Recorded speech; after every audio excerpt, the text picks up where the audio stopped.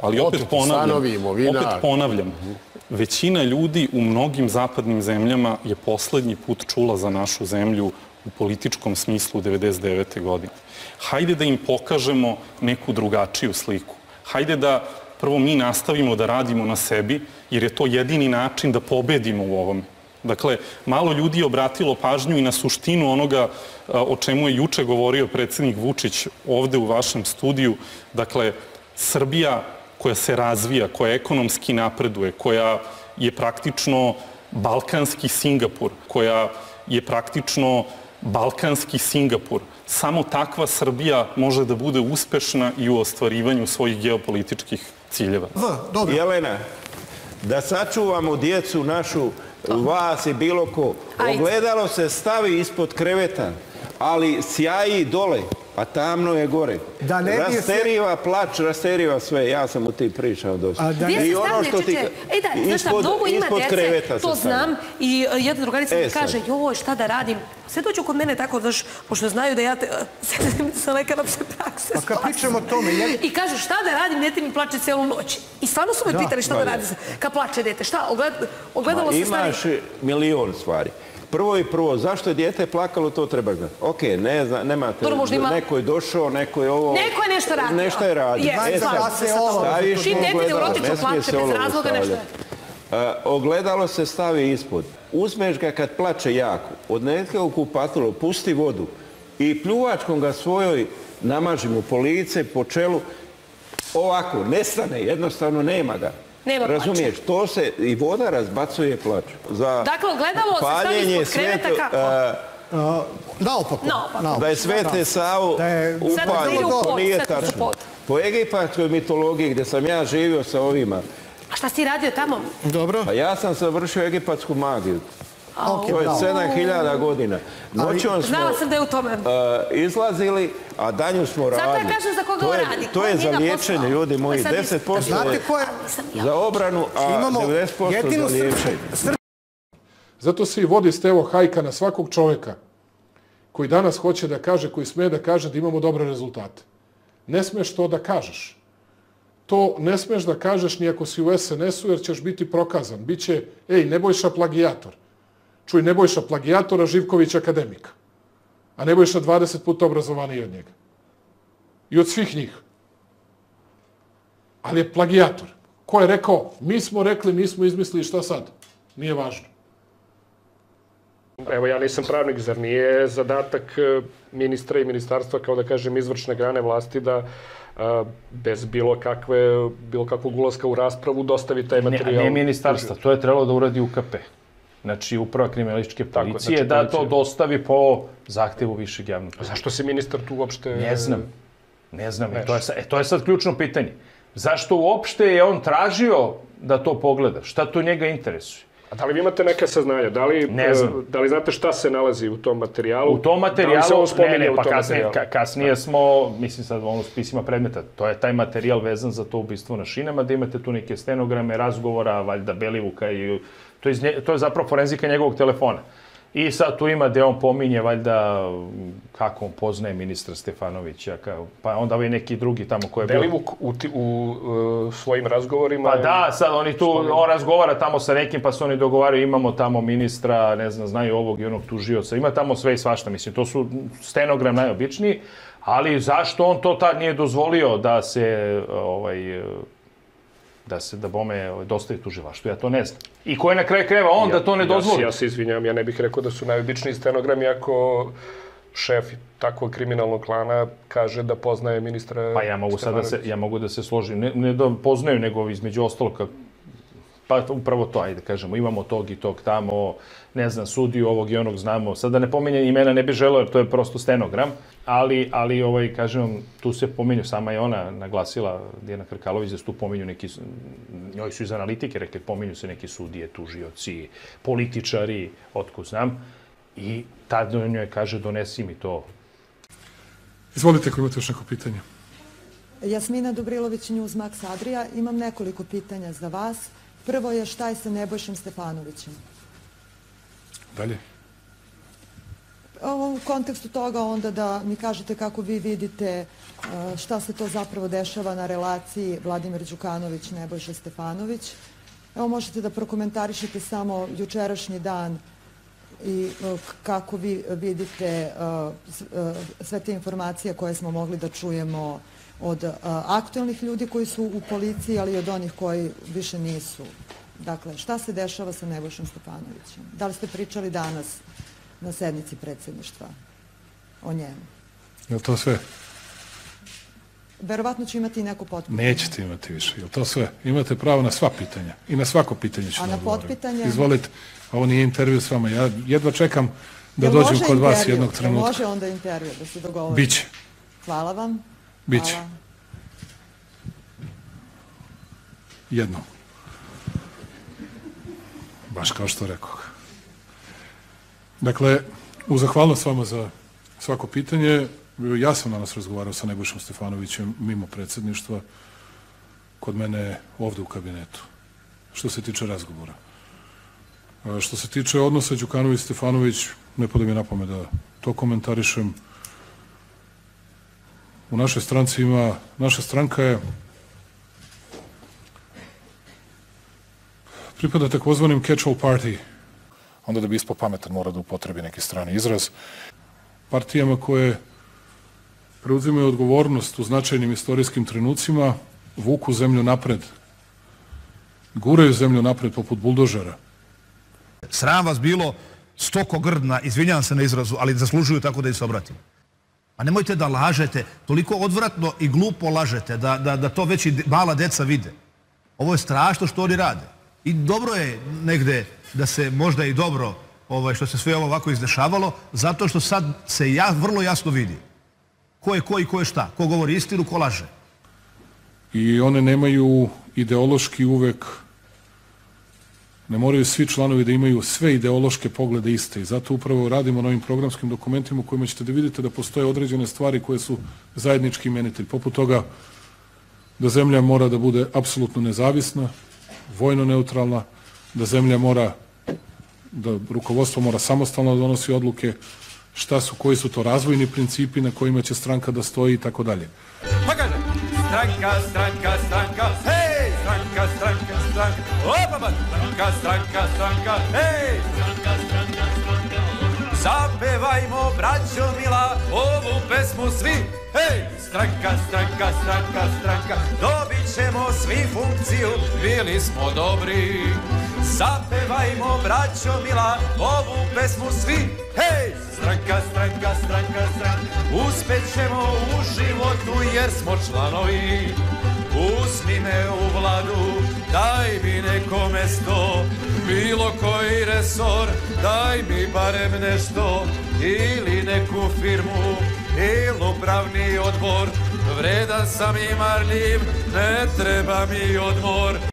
U prethodnih pet dana pripadnici Ministarstva unutrašnjih poslova na teritoriji čitave Republike Srbije nastavili su sa aktivnostima na suzbijanju opšte kriminaliteta. U saradnji sa nadležnim tužilaštvima, BIOM, Poreskom upravom i drugim državnim organima, policija je uhapsila 251 osobu, dok su protiv 367 lica podnete krivične prijeve u redovnom postupku.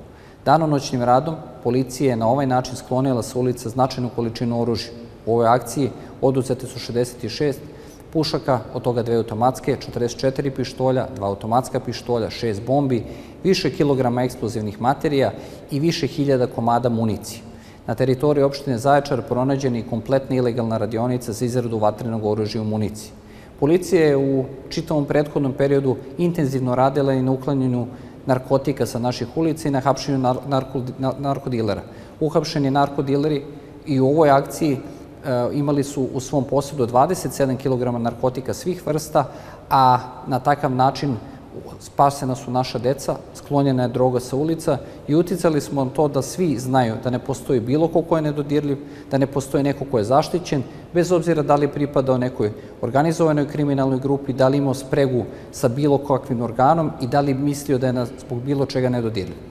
Policija nastavlja sa aktivnostima na suzbijanju kriminaliteta i nećemo stati dok postoji jedan čovjek na teritoriji Republike Srbije koji se bavi kriminalom i koji smatra da na takav način može da ugrozi bezbednost građana Republike Srbije.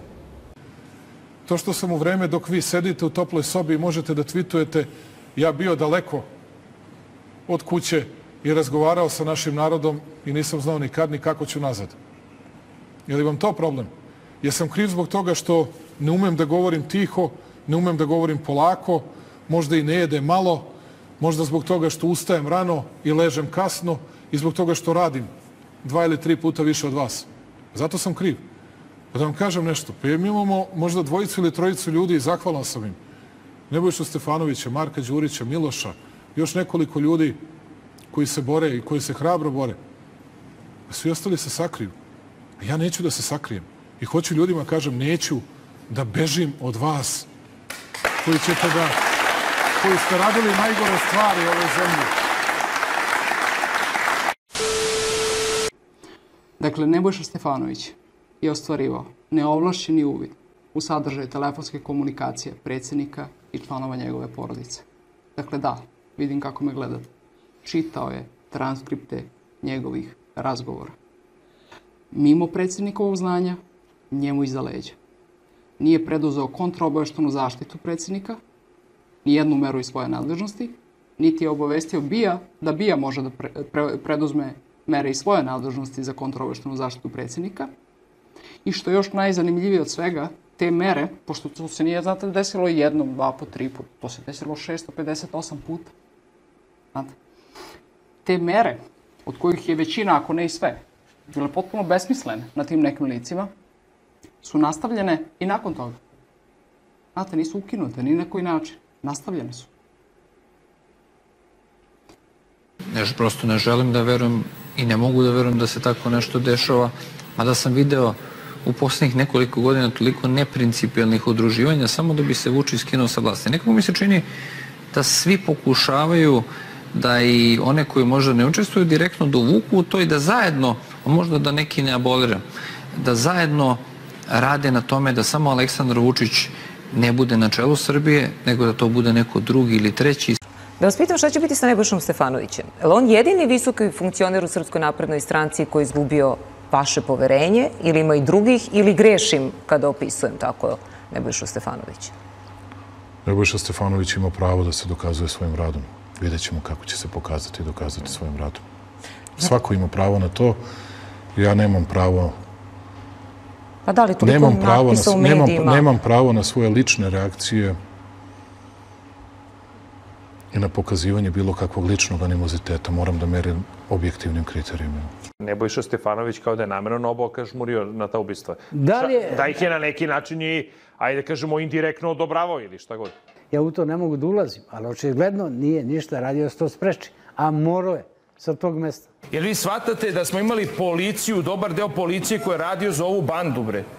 Jer ovo ovako što se radi, ovo više ne može. Da vi bukvalno trpite teror prave mafijaške hobotnice koja je zahvatila i policiju i tužilaštvo i sudove i rade šta hoće u ovoj zemlji i da vi praktično imate situaciju da je vlast koja god se izabere na izborima besmislena zato što nema nikakve ingerencije u svojim rukama nego bukvalno ovi vode zemlju kao parasistem to sa tim jednom mora da se prekine. I na svako moguće raspolaganju je svako ko voli ovu zemlju.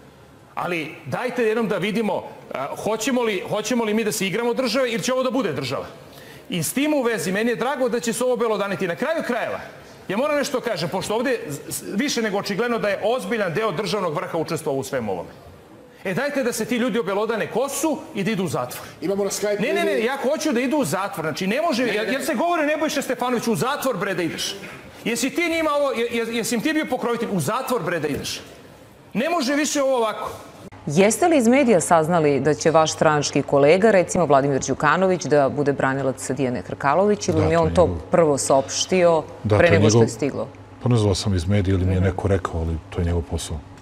Dobro, ja sam sigurna da, da vi ne birate njemu klijente, ali me zanima koliko da to nanosi štetu Srpskoj naprednoj stranci. Zbog čega bi nanosilo štetu našoj stranci? Moram da vas pitam ipak, da li taj pokret predstavlja neku vrstu zamene za stranku, da li predstavlja, pa prosto kakav je odnos Ne, evo samo jednu rečenicu. Dakle, ja, bilo je- bilo ja sam, ja sam tome član... Da vi prosto dakle, prelazite da odavde tamo. Da. Ja sam član Srpske napredne stranke i nikada neću prestati. Još uvijek da ste budem. predsednik, niste Da. samo član. ali sam član, to je suština. To što sam predsednik, čim zakažu skupštine, su krenule naše lokalne skupštine, čim se završe naše lokalne skupštine u Beogradu, ja mislim 13 od 17 završeno, kada se to završe, zakazuje se skupština stranke. A kakve će vam funkcije biti onda u ovom pokretu? Pa nismo ni počeli da formiramo pokret. Ali kamali nešto drugo. Dakle, pošto ja znam da vas ne zanima program, ne zanimaju vas Ne, planovi. naprotiv, ali zanimaju me i A ne, ove... jedino što vas zanima je to gde je Vučić. A ja na to imam jedan odgovor za sve vas. A što brinete toliko o tome? Pa zar ne smatrate vi da sam ja najgori na svetu? Ne mislim vi lično, nego vi koji o tome tobož brinete svakoga dana.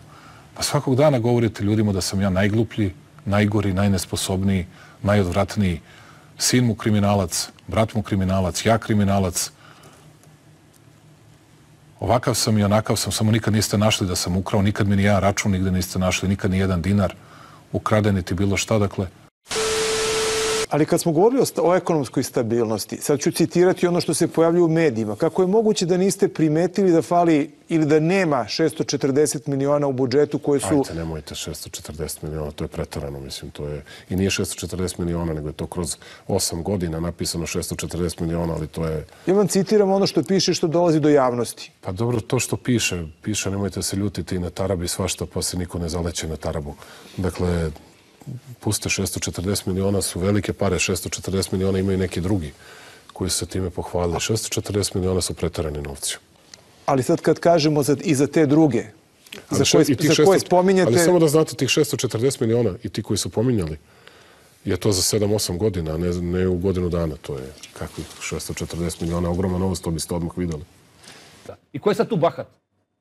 I ko je tu bahat? ali ja samo kažem da nije tačno da su svi protiv njega, nego moram da vam kažem da e, mi smo imali i, i, i diplomatskih kontakata i kontakata u, ovaj razno raznih. Ja mogu vam kažem da većina ovaj e, evropskih zemalja ovaj na neki e, čudesan način nalazi da je njima najranjiviji predsednik, najbolji predsednik. I to je ono što građanima Srbije ne valja. To, znači, meni kao građaninu Srbije je najgore da mi imamo predstavnika koji je ranjiv. Da li je on ranjiv zato što ga ima na Skype komunikaciji sa nekim tamo mesarima ili, ili zato što je e, e, činio krivična dela ili zato što je dobio kontrausluge, je to sasvim sigurno ovaj, e, e, ne mogu znati u čemu je on sve ranjiv, ali on je užasno ranjiv da bi ovu zemlju vodio tamo gde građanima Srbije odgovara. Ali tako ranjiv, kakvu poruku šalje juče kada pored njega sedi Milan Radojičić? Ba, baš jasno. To je jasna poruka. Šta je poruka? To, pa, kako da vam kažem, on stalno ide e, e, zato što deo njegovog biračkog tela voli tu bahatost. To se 12 godina radi.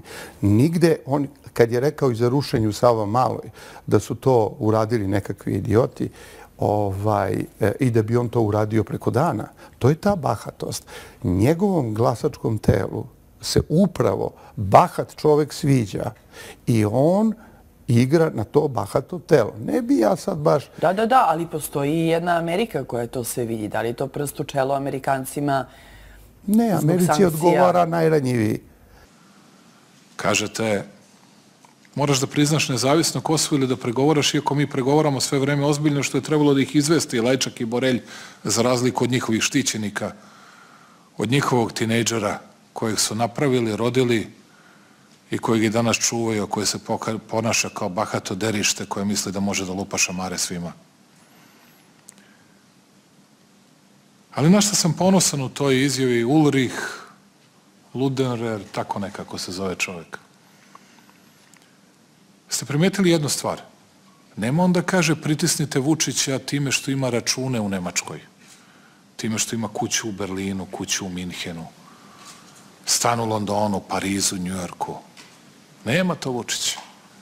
Vučić voli Srbiju. Šta će mi to? Šta radim s tim?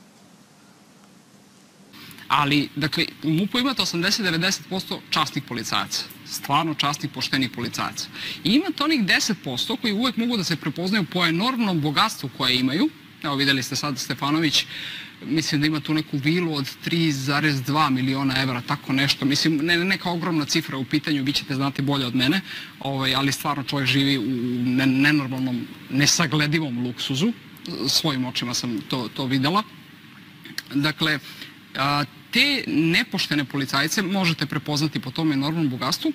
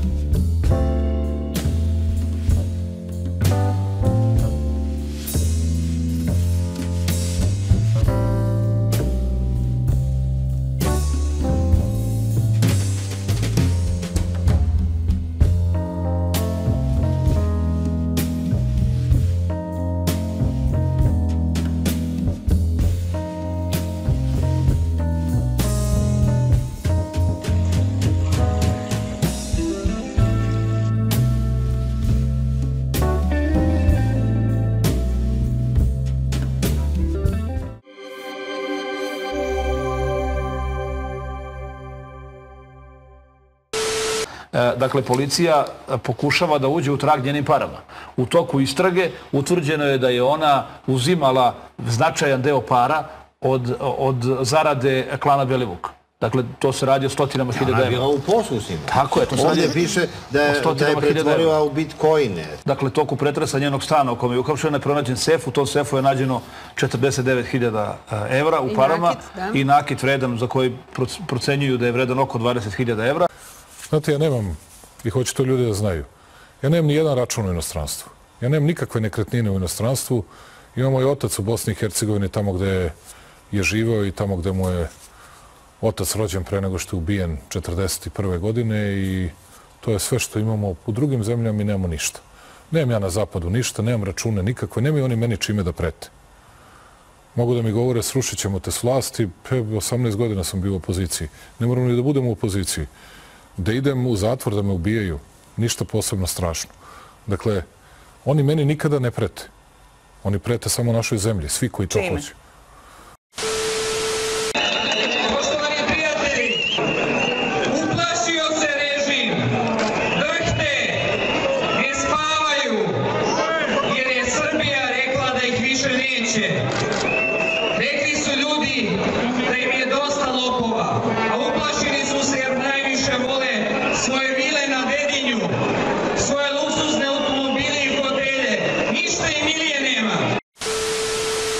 Ali, dakle, u MUP-u imate 80-90% častnih policajaca. Stvarno častnih, poštenih policajaca. I imate onih 10% koji uvek mogu da se prepoznaju po enormnom bogatstvu koje imaju.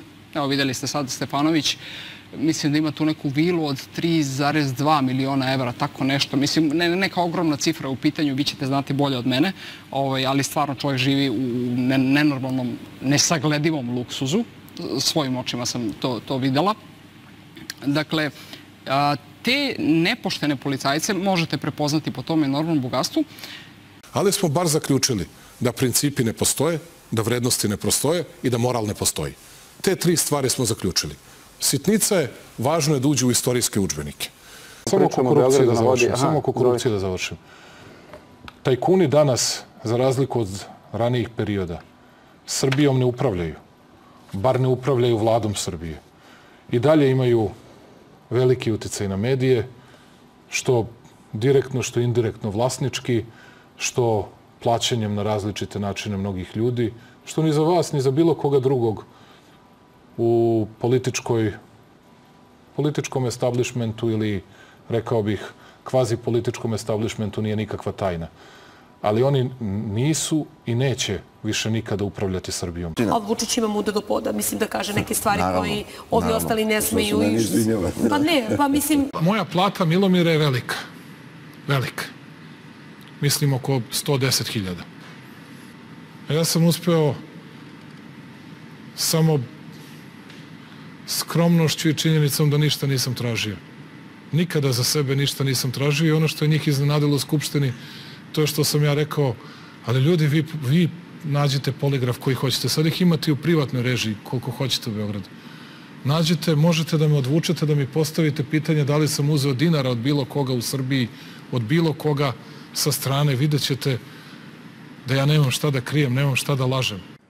Da bi njihove zadnjice bile deblje i bogatije, narod su oterali u propast, običan narod u propast i sad, ej ti si Vučiću kriv. Za šta sam kriv ljudi? Za šta? Treba nađemo milijardu da to platimo. Ili 200 miliona evra. Za šta?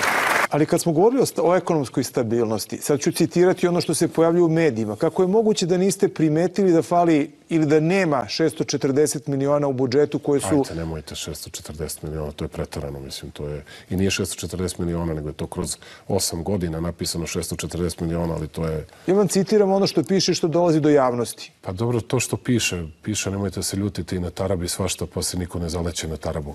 Dakle, puste 640 miliona su velike pare, 640 miliona imaju neki drugi koji su se time pohvalili. 640 miliona su pretarani novci.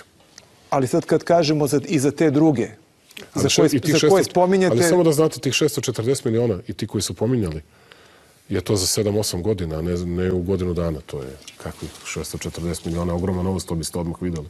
Tih 640 miliona i ti koji su pominjali, je to za 7-8 godina, a ne, ne u godinu dana. To je kakvih 640 miliona, ogroman novost, to biste odmah videli. Ne brinete o, o eventualnim optužbama da zloupotrebljavate državne bih ja resurse slušao, ja ne, i raznim ja, aktivnostima ja, ja, zapravo ne, ja ne zloupotrebljavam državne resurse, za razliku od njih nikada ništa nisam ukrao. Za razliku od njih ne uzimam ni dnevnice. Neki od njih su na dnevnicama uzeli 50 i 60 hiljada evra, ja ni dinara. Nikada. Svaku flašu vode koju vidite da moji gosti piju vladi, platim iz svog džepa. Prema nekim ranijim studijama, jedna linija metroja je koštala oko milijardu eura. To je u suštini blizu budžetu grada e, Beograda. A, iz kojih sredstava a, biste gradili metro? Da li bi se država uključila? Prvo, e, da krenemo samo od samog početka. E, Kad kažemo od početka, uopšte ka, e, ideju smo, znači imamo jasnu ideju, imamo studiju izvodljivosti i razmišljamo kao država, dakle, o tome da krenemo u izgradnju. Da...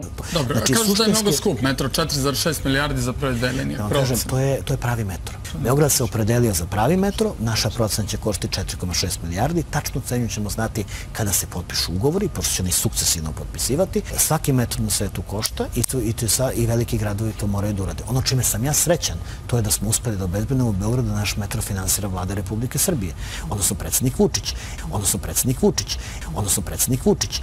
Svakako da grad Beograd je učesnik u projektu metroa, ali vrednost danas između, dakle po svim studijama poslednjim, između gotovo 3 i 4 milijarde ako govorimo o dve linije, 3 do 4 milijarde evra, to je najveći infrastrukturni projekat u regionu. Dakle, 3 do 4 milijarde evra, to je najveći infrastrukturni projekat u regionu. Dakle, Beograd se opredelio za pravi metro, naša procena će koštiti 4,6 milijardi, tačnu cenu ćemo znati kada se potpišu ugovori, pošto će oni sukcesivno potpisivati. Ništa se ne gradi tako veliko kao što bi bio metro u Beogradu. Dakle, vlada bi mogla dati garanciju za e, tako velike projekte, naravno fazno i u godinama koje su ispred nas, ne od jedan puta, to je jedna stvar.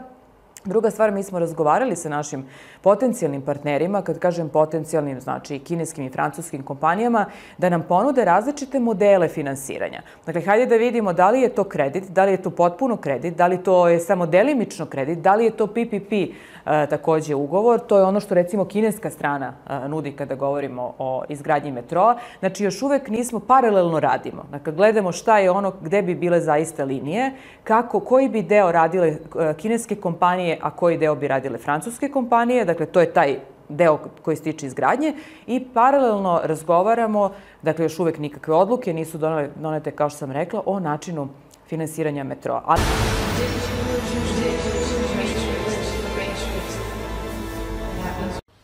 U toj knjizi ima jedno poglavlje o nasilju. I onda pokazuje koliko a, su profesionalni sportisti skloni a, i fizičkom i seksualnom nasilju. Koliko su oni više skloni nego ovi koji nisu profesionalni sportisti. Jer, jer se kvari, a, kvari se a, karakter i kvari se neko od svih.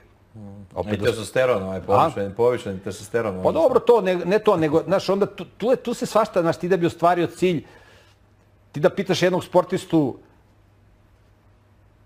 evo, jel- jel prihvataš da četiri godine budeš top, najbolji i da posle toga da posle toga umreš. A nije slučajno... A čak pazi- i pitali su neke to pitanje. A evo, i- evo pitanje, kako su mogli da znaju Simpsonovi da će Kobe Bryant da pogine u saobraćaju nesreći? Da li je on u helikopterskoj nesreći? Da li je on možda, kao što mnogi pričaju i pričaju svoje iskustva, napravio pakt sa demonima i sa đavolom i rekao, vidi ovako, hoćeš da budeš najbolji? Vidi, mi ćemo ti pomognemo. Mi ćemo ti pomognemo. I bit ćeš najbolji određeno vreme, na kraju ćeš, daj da ja budem na, najbolji, pa posle neka umrem. I to ti je filozofija savremenog čoveka. E, vidi ona, ona zgodna konobarica, baca, jao, kad bi mogao s njom, razumeš, da odigram partiju šaha kod mene kući, brate. Pa posle se- neka umrem, brate. Danas je to Netflix and chill. Ovaj. Razumeš, pa posle da umrem. To ti je filozofija savremenog čoveka. Daj mi to, pa makar umro. Da, da. Da, da, Knoll Dol, ovaj, šta Ko je kaže? I- Ivana Knoll, ova navijačica. A, mislim da to ona što je navijala, ona kao nešto sa nekim brushalterom. Da, da, da, u tamo. kockicama, da, da, da, da, ova naša kao navijačica. A šta s njom? Pa ne, evo, ne znam, pita Sinke, ovaj, ne znam šta s njom. Nemoj tako, prijatelju, ona je fina devojka, do sada navija za svoju nogometnu reprezentaciju, ona, ona se prodala, ona prava kršćanka. Da, Ona se, ona se zafrkavate ljudi, brate. Znate, treba budete u svoje kada je teško, a ne kada je lako. I to i kada izgubite izbore, budete u svoju političku stranku kada izgubi izbore, a ne samo kada, kada izgubi vlast, a ne samo kada dobija vlast. I uvek prvi odu oni koji ne dobiju svoju ministarsku fotelju ili neku direktorsku fotelju koju su imali. I uvek znate da su to najgori ljudi. Tako da, kako bih vam rekao, Nagledali ste se vi toga u politici s obzirom Jes, na nagledao sam se toga, koji nagledao sam se od toga mnogo puta. Znam to sve, tako da, pa vi znate koliko sam ja puta čuo od ljudi u moje stranci. Ej, pa nemoguće da baš nema ništa oko te Jovanjice, ne bi oni mogli dve, tri godine da pričaju. Iz vaše stranke. Pa da, pa to sam čuo ne jedan put. Pa dobro, pa šta onda oni drugoga? traže u vašoj stranci? Moć, funkcije, novac, neki od njih. A najveći broj ljudi u našoj stranci su zaista časni, dobri domaćini, Aleksandar Vučić zna da njega može da ugrozi ne toliko neko van napinjačkih redova, Koliko? koliko i samih redova. I zato nastoji da na ove čelne e, položaje dovodi e, što e, manje značajne i što nesposobnije ljude koji ga nikako ne mogu ugroziti. Dakle, koji mogu samo da aminuju, da viću aco ovaj, Srbine i tako dalje, ali kon, koji nemaju vlastito osjećanje vrednosti i dostojanstva, koje je u politici potrebno, jel? da bi čovek uopšte nešto postigao i da bi raspolagao nekim položajem i ugledom i uticajem koji zavisi od njega samog, a ne od milosti nekoga koji ga je na taj položaj doveo. Vučić to vrlo dobro zna i zato se okružuje malte ne nesposobnjakovićima i poluidiotima, jel? Da bi on onda u tom društvu delovao kao vrhunski političar i intelektualac. Vučić se okružuje intelektualnim i moralnim pigmejima, jer pored njih on izgleda dobro. Kada vi pored čoveka 2.20 stavite nekoga od 180, on izgleda mali. Kad ga stavite pored čoveka koji je visok 120, on izgleda kao džin. To je Vučić shvati. On kaže, kad bi ja pored mene stavio nekog uspešnog, nekog obrazovanog, nekog pristojnog, nekog ko je nešto uradio u životu, pa ja bi pored njega izgledao onako kakav zaista jesam. Nikako. Bedno, glupo, primitivno, ružno. E zato on bira te koji imaju lažne diplome, koji imaju falsifikovane doktorate, koji imaju što više afera, to ste vi više u toj lestvici vlasti. Njemu takvi odgovaraju. Jer on može da ispadne pošten jedino ako stane pored Vulina kome je tetka iz Kanade kupila stan. Može da ispadne obrazovan jedino ako stane pored Siniše Malog koji je falsifikovao doktorat ili Nebojše Stefanovića kao njegovog arhipotrčka.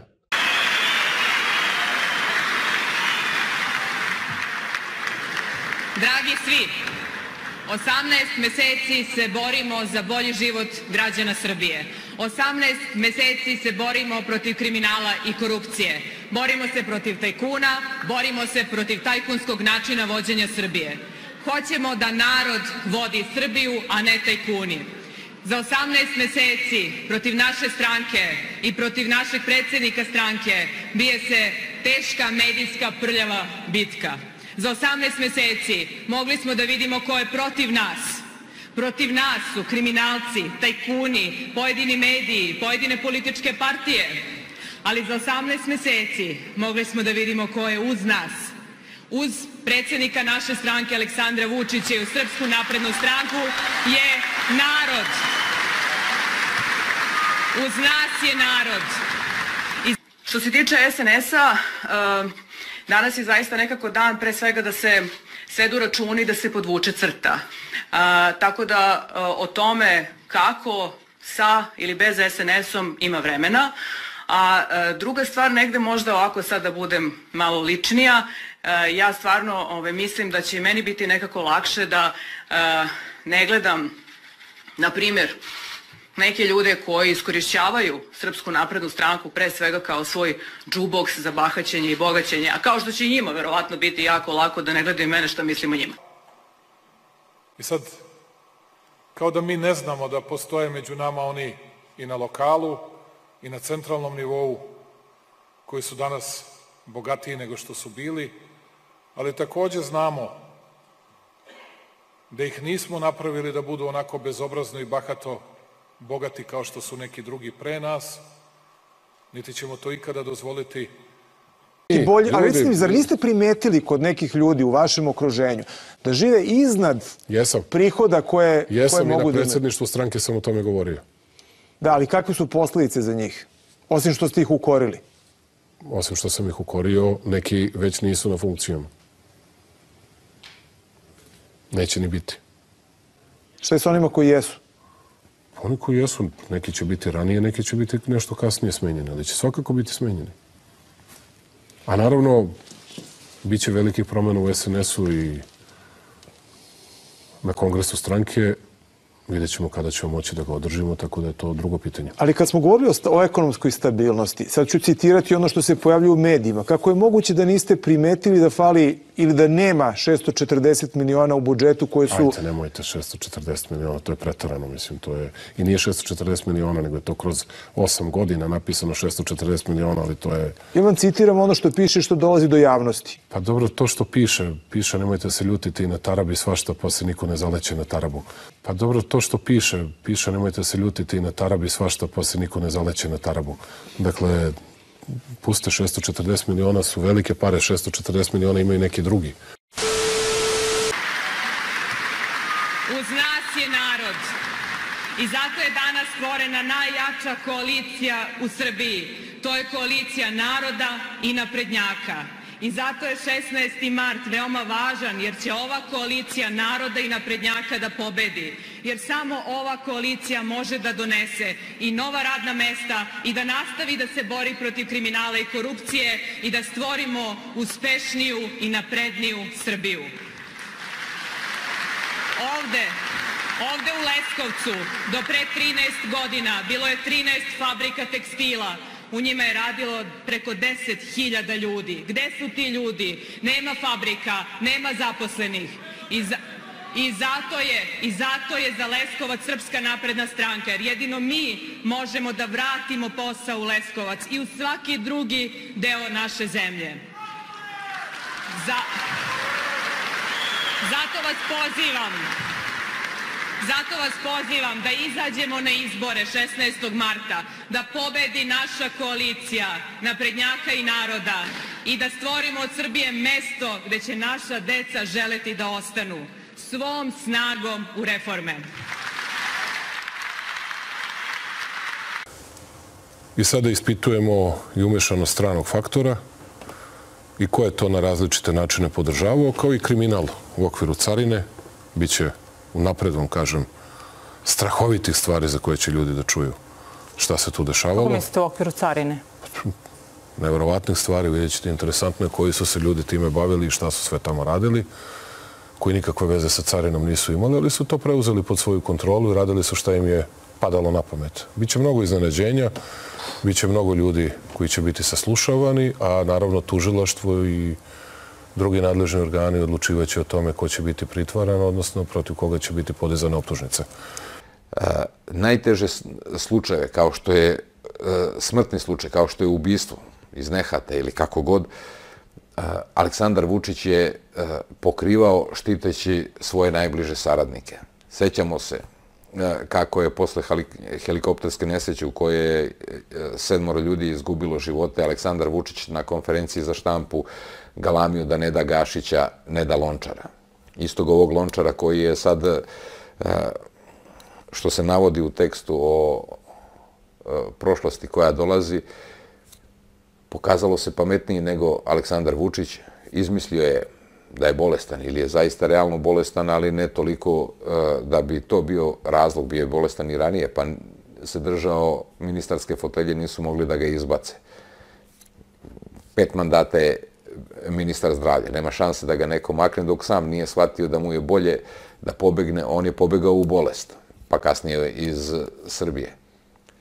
Aleksandar Vučić e, bez problema može da dobije e, dokaze, da dobije dijagnozu, ne mora da izmišlja da beži u bolest. Aleksandar Vučić kao što je štitio i e, Zorana Babića, e, Bratislava Gašića, Zlatibora Lončara, štitio je Dijanu Hrkalović od sveg njenog kriminala, koji, a on je e, kriminalizovao tu nesrećnu ženu, koja je bila njen intelektualni, njen moralni e, kapacitet svodi se na šipku na Partizanovog jugu, na skandiranje pesama uz navijače, narkodilere, žandare i ostale kriminalce. Izvuko je kriminalizovao, stavio u pritvor i morao da je oslobodi, jer ko zna šta sve ima u sebi. Šta sve ima u svom sefu od eh, dokaza. Verujte mi da umalo zajedno i bukvalno i moždani i srčani udar nisam dobila zbog tih navoda. Verujte.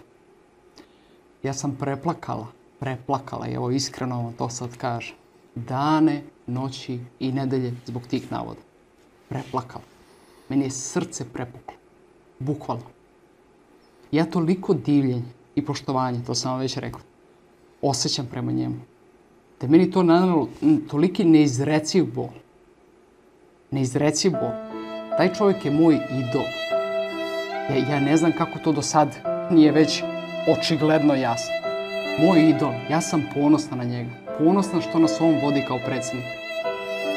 Kakav je to a, patriota, genijalni lider. To ste, to ste svi mogli, evo i sad da vidite u ovoj nesagledivoj krizi kako, kako vodi odlučno i hrabro zemlju. Njemu prosto ne možete da se ne divite, znate. Kakve pritiske trpi, a kako ne da na Srbiju.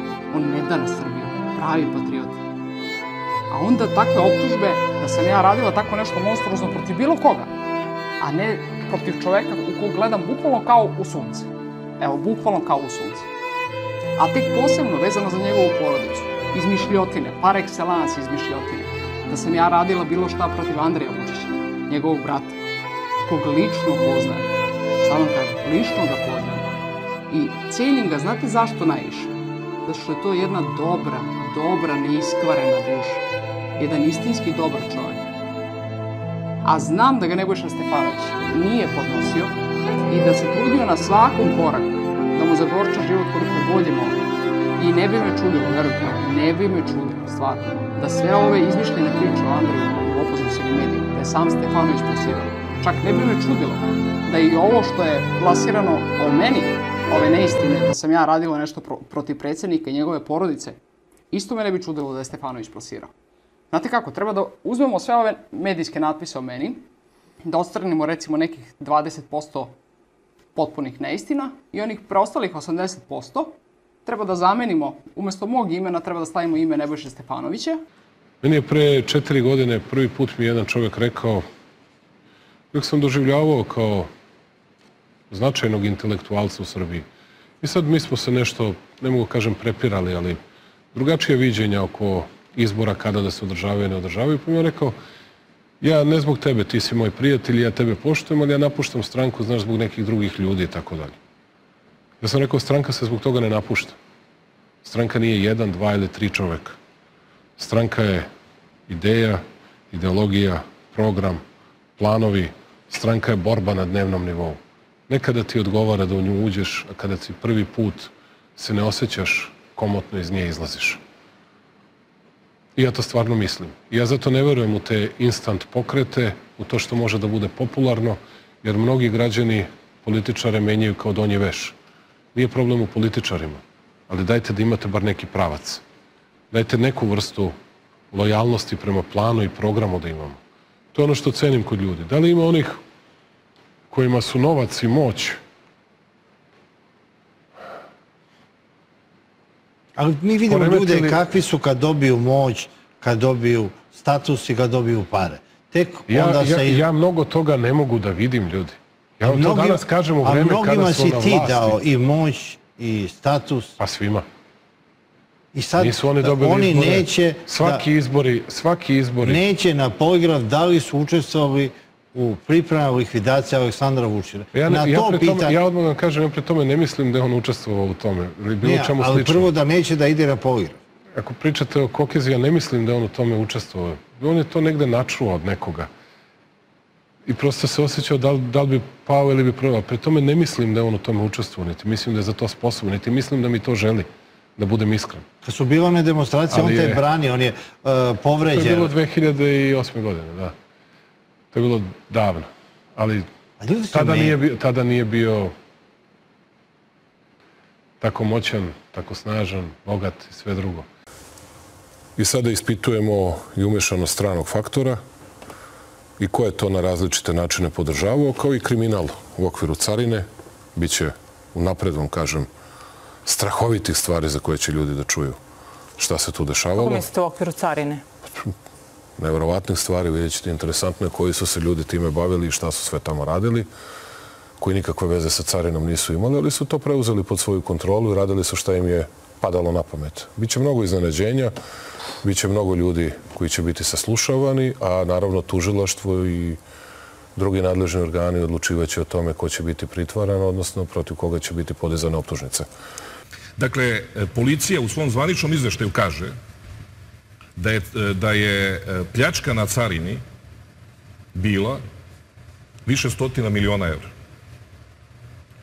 I tamo se spominje četiri, pet likova.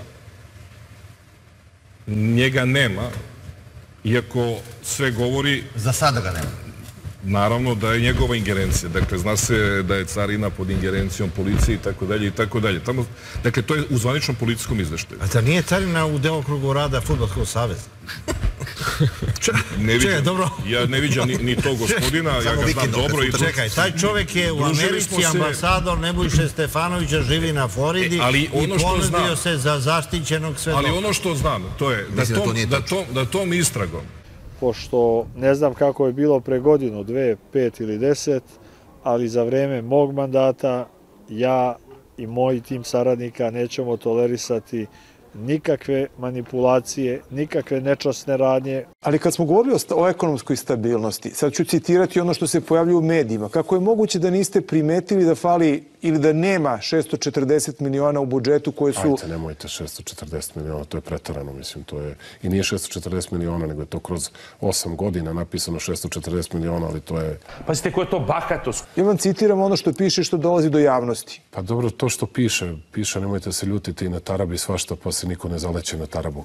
Pazite, ko je to bahatost. šta sve ima od dokaza Slaviša Kokeza. I u ovom tekstu se navodi Kokezin primjer.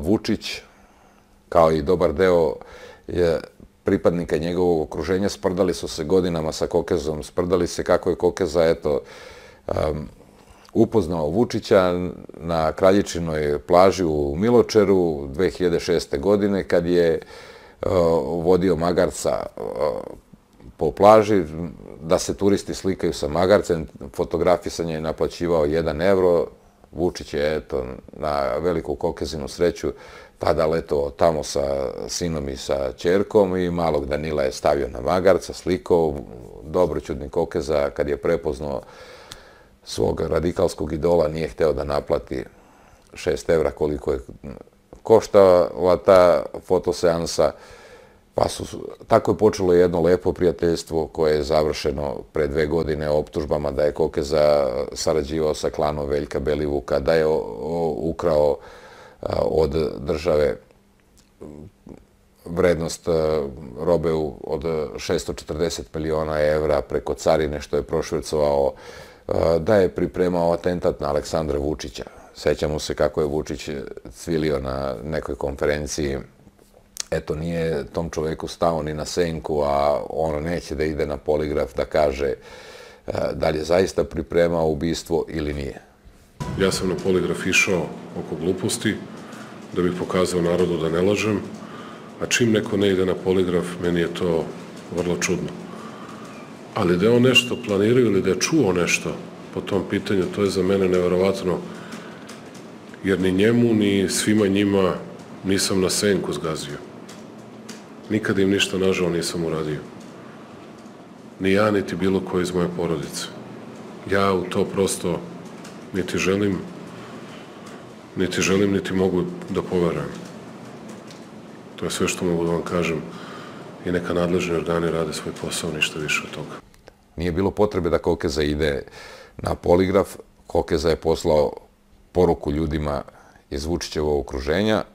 Ako me Vučić optužuje za 640 miliona evra, treba da zna da nije samo toliko. Preko carine je prošvicovano 2,5 milijarde evra. Nemoj da im pričam kod koga je završila razlika.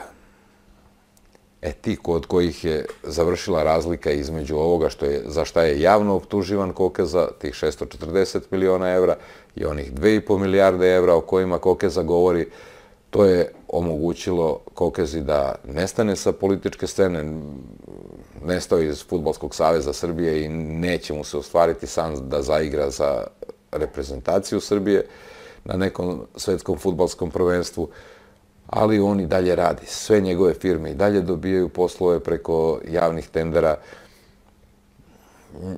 njegova imperija i dalje cveta, a on je na bezbednoj udaljenosti navodno ponekad svrati u Srbiju da prebroji poslove, protivnike, partnere, zasluge i očigledno ima zaštitu ljudi koji su mnogo jači nego što je Aleksandar Vučić, nego što su svi ti koji mu prete, koji su se ranije sprdali s njim. Na kraju sve ispliva na videlo.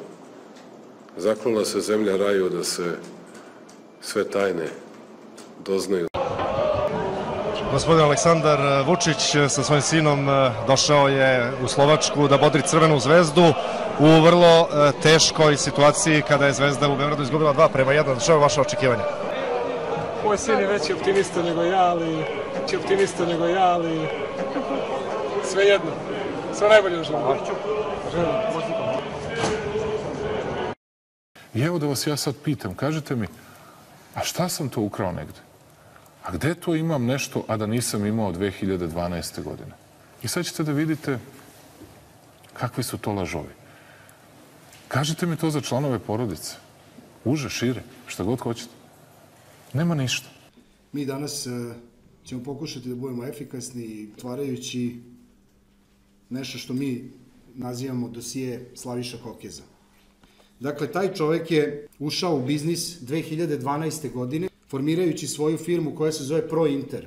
Takođe, Kokezina firma ProInter je uspela da kupi Eurosalon, nekada gigant industrije nameštaja u Srbiji, za 190.000 evra.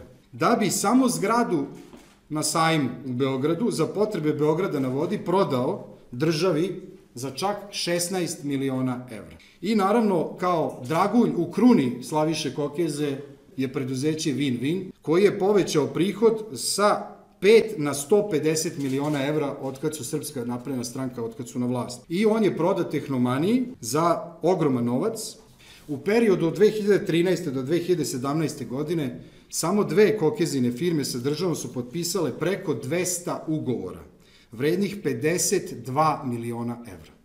Samo od elektroprivrede Srbije kokezina firma je dobila preko 50 ugovora, firma ProInter uvećala je tako svoj prihod za fantastičnih 350 puta za 7 godina postojanja. sa 150.000 evra u 2011. na 52 miliona evra u 2016. godini. Ljude kojima je srednje ime bahato strašno se iznerviram kada to vidim. Još uvek nije jasno dakle ministru Aleksandru Vulinu 250.000 evra za kupovinu stana od 107 kvadrata u Beogradu. Sve sam rekao, tužilaštvo mi to ne jednom, nego dva. Imajući u vidu da ste rekli da, ste, da je u pitanju pozajmica i da ste to pozajmili, a da je reč o priličnom iznosu novca, jel možete da nam kažete koliko ste, na primjer, uspeli do sada da vratite? Sve što sam imao da kažem, rekao sam, rekao sam nadležnim organima, rekao sam i javnosti više puta, tako da se o tom pitanju više ne bih ovaj, objašnjavao i ne bi se nadgornjavao ni sa vama ni sa bilo kim drugim, sve je rečeno. Dobro, znači postoje ljudi uh, čiji se doktorati dovode u sumnju, postoje ljudi čije se ponašanje dovodi u sumnju, pre svega mislim na krivično ponašanje i bahatu vožnju. Aj, kažite mi to krivično ponašanje. Kako je to krivično ponašanje? Ukoliko, ukoliko vozite autoputem i ubijete nekoga na, na nahodnoj rampi. Na primer, ko? Primjer, Zoran Babić. Zoran Babić, na primer, nije ubio nikoga. Ali mi to nismo videli.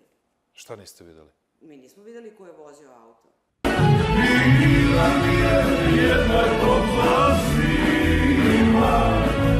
Bila je sve što srce ima Bila mi je, ali više nije Prijatelju znaj,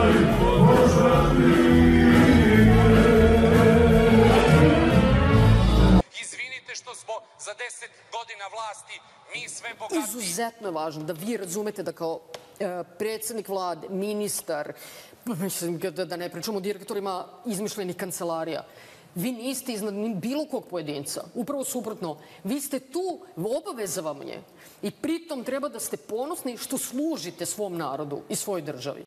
To radi se o maketi tenka, dakle nečemu što podsjeća na tank, ima gusenice i ima nekakvu maketu kupole koja je izgrađena. I tako kao što vidite, na čapraz divanima i šupljim pričama ne može da se zasniva suština politike. Onda ima još jedna stvar što sam primetio kod opozicije, a to je, naravno, to im neće proći, a to je što huškaju Vučića na svoje saradnike. U smislu, kako se zove, o, oni koji su se obogatili. Znači, pojedinci koji su izašli bogati iz politike, sada podkazuju sve one koji su danas bogati, kao valjda Vučić treba na njih da se obru, obruši, ili me razumeš, ovaj, jer će on da, da vidi ako mu pada rejting, pa će onda posluša njih iz opozicije, pa će tako kako se zove da uništava sve svoje ljude. To je vam pamet. To je vam pameti, razumeš, tako ne bi Amerika nastala i Kanada, znači to je ludilo. Je. Evo. Energetska stabilnost i fiskalna konsolidacija energetskih preduzeća. Mi radimo sa Norvežanima, kao što znate, uložit ćemo i novac u to, postaći članovi naših nadzornih odbora, naših izvršnih organa. Hoćemo da promenimo način na koji smo upravljali našim preduzećima. I to vam pokazuje da hoćemo da se otkačimo od partijsko-parazitskog sistema. Ne možete više da mi govorite postavljen je partijski čovjek da bi neko nešto krao, mi ćemo postaviti Norvežana. Mi ćemo pokažemo da nam je država važnija od partije. Mi hoćemo pokažemo da nam je država da je naša Srbija preča od svega. I to ćemo da uradimo u narednih tri i četiri meseca i to ćete da vidite. Već smo krenuli u realizaciju. Mnogo reformi moramo postignem. Ne mogu da vam kažem koliko mi se ovo malo kose na glavi diže i kako se ježim kada neko traži da ne radi ništa, a da dobija veća primanja, ali ne bih danas o tome osim ako me ne pitate.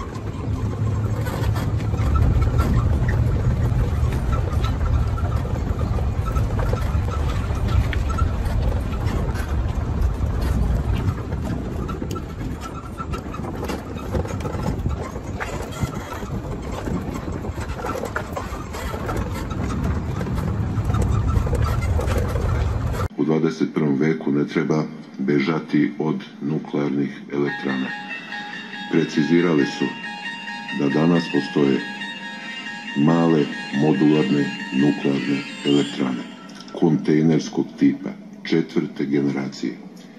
Nivo bezbednosti maksimalan. Nema nuklearnog otpada.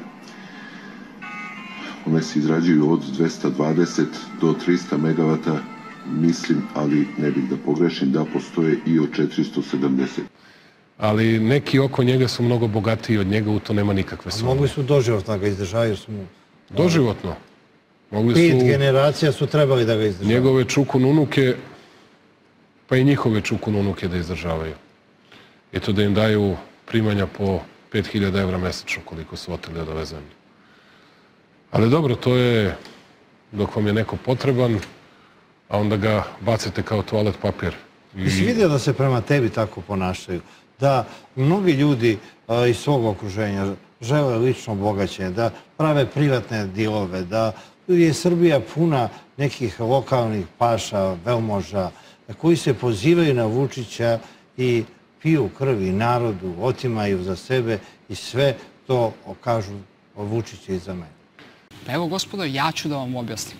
Pošto se vi toliko pravite ludi, ne sjećate se sobstvenih laži koje ste vi plasirali o Andreju vezano za Jovanjicu, sad se vi kao nešto iščuđavate, imate amneziju, ne nudite a, nikakvo objašnjenje za svoje laži, niti izvinjenje za svoje laži, i iščuđavate se što, što ističe svog brata. Pa sramota. Pa mislim, izgleda kao da misle da smo mi svi rasli u saksiji ili šta? Ili kao da imamo mi kratko pamćenje, projektuju su u nas, kao da mi imamo amneziju pa se ne sjećamo njihovih laži. To ne ide tako. Dijana, ti si doktor psihologije, regularno završio fakulte, regularno doktorirala. Kolege sa Filozofskog fakulteta hvale da je to jedan od najboljih doktorata posljednjih deset godina u Beogradu. Hvala. Radila si u BI, radila si dugo u policiji. Šta je Jovanicca zapravo bila? Kakva je to organizacija koja je trebala da sruši i predsjednika Vučića preko njegovog brata, a sa tim i državu Srbiju? Ja sam već više puta objašnjavala nezakonitosti oko postupanja u tom predmetu Jovanjice i sada ću ih ponoviti. Ponovit ću one na, najbitnije. E, istakla sam takođe ko su montažeri te, te akcije. Jer vidite, vi imate u stvari sve vreme tu u MUP-u jedan odmetnuti deo, čiji sam nažalost i ja u jednom trenutku bila, bila deo, pa u nekom trenutku shvatila šta se dešava i, i da ne želim da budem deo toga. Ali, dakle, u MUP-u imate 80-90% častnih policajaca. Stvarno častnih, poštenih policajaca. I imate onih 10% koji uvek mogu da se prepoznaju po enormnom bogatstvu koje imaju. Evo, videli ste sad Stefanović, mislim da ima tu neku vilu od 3,2 miliona evra, tako nešto. Mislim, ne, neka ogromna cifra u pitanju, vi ćete znati bolje od mene, ovaj, ali stvarno čovjek živi u ne, nenormalnom, nesagledivom luksuzu. Svojim očima sam to, to videla. Dakle, te nepoštene policajce možete prepoznati po tom enormnom bogatstvu i to je stalno bilo um, kao, eto, oni, oni sve, ne znam, Stefanović sve obaveštava predsjednika, sve, sve su to nalozi predsjednika, ne, ne, on, on nema nikakve veze s tim, sve on samo prenosi, on samo radi svoj posao, svi oni často rade svoj posao, u stvari sve To će vreme da rade... završi sve Dijana, vreme ja ću rade- obavestiti Sve vreme To rade bilo. iza leđa, ne obaveštavaju ga, ne obaveštavaju ga za mnogo stvari. Znate kako to funkcioniše? U stvari i muka mi je što to tako funkcioniše. Znate ono, verovatno ste to videli više puta, ja imam dežavi kad to vidim. A, ne, ne, ni- nisam to, ne, ne, nisam to ja, to, znaš, onaj gore, onaj gore, ne znam, čuti, molim te, ne, ne, ne, on, on, on je kriv za sve, on je odgovoran za sve, ne bih ja, ali on je odgovoran za sve, znaš, ne smijem ime da mu izgovorim, kao neka force majeure. U stvari, sve prebacuju sve vreme na, na, predsjednika, prebacuju odgovornost, ta- tako je svi ti e, neki odmetnuti, na primjer, taj MUP koji fabrikuje aferu za aferu, aferu za aferu. Dakle, pitanje je bilo, ako neko nije čuo, ako meni moj najbliži saradnik, nemoj vi da mi birate ko mi je najbliži, ko nije, Nebojša je svakako jedan od najbližih. I smeta vam naročito, naročito zato što je jedan od njegov najbližih ljudi lično iz automobila, prvo mu heklerom razbio staklo, a lično iz automobila izvukao narkozlikovca koji je imao 3 kila droge oko vrata. I zato vodite hajku protiv Nebojše Stefanovića i Gorana Papića. Govorimo o našim političkim protivnicima, vi ste tu samo prenosnici onoga što oni radi oni što govore. Samo da ljudi u Srbiji znaju zašto se vodi hajka protiv tih ljudi. Dakle, hajka protiv tih ljudi se vodi zato što su uhvatili narkodilera, iščupali bitangu iz automobila, zlikovca, kriminalca, sa tim je mogao da otruje, boga mi, dve, tri škole beogradske, cele. Tri škole beogradske cele. E zato što mu je uništio biznis, a to je negde oko 320.000 evra na crnom tržištu kada oni to, kako to stručno govore, zamešaju i tako da ne znam kako i šta rade. Znate, nisam cigaretu zapalio, a kamoli da se družim sa tim narkozlikovcima, pošto je taj narkozlikovac posle toga bio i posećivan od strane lidera DOS-a u zatvoru, da se vidi da su bliski. I pitanje sa čije su to pare, to tužilaštvo, naravno, njihov je posao da vidi čiji su ti novci. E, pošto su ti novci izgubljeni, pošto je narkozlikovac uhapšen, e onda je potrebno voditi ovakvu hajku i kampanju i protiv Gorana Papića i protiv gospodina Stefanovića. Mogu, zna, znate, taj, taj Goran Papić je prilikom lišenja slobode, kad su meni to pričali, dakle, ja sam bio sa tim čovjekom, e, poznate su sportijske njegove sestre Milan Dabović, mi smo mesec dan bili u pritvoru zajedno. Dakle, nije mi ni to čak on ispričao, nego kolege ovaj, koji su radili taj slučaj. Dakle, on je istrčao tada, iako su tu kolege za lišenje slobode, on je istrčao tada i sa metkom u cevi u MP5, e, narod to zove Heckler Koch, odnosno to je samo proizvođač Heckler Koch, puška se zove MP5, udarao u staklo ovaj, vozila i mogao je da ubije nekog kolegu. To su meni kolege pričali. I taj govori za sebe ili ovi govore da je on policajac. Imate vladu u kojoj je e, ministar e, odbrane osumnjičen da je prisluškivao predsjednika, a neki u vašoj stranci osumnjičili su ga i da je direktno ugrozio bezbednost predsjednika. I imate jednu neobičnu aferu, a, aferu koja je počela kada je uhapšen vlasnik najveće plantaže marihuane u Evropi, koja sada dobija potpuno novi a, oblik gde se kaže tona marihuane nije ništa, marihuana je a, u Nemačkoj a, legalizovana. Da li je uzgajanje marihuane krivično delo? Naravno da jeste. A ko je rekao da nije? Pa, znate, kada dobijete, kada dobijete a, odgovor tona marihuane, to je, to je u Nemačkoj legalizovano, to je korak ka aboliciji sa najvišeg, sa najvišeg mesta.